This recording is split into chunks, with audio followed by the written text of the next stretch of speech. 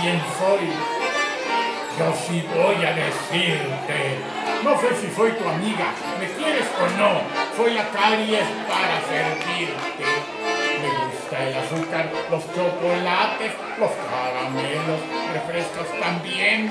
Pero lo que más me gusta, adivina tú qué es, son los dientes de los niños cuando no se lavan bien.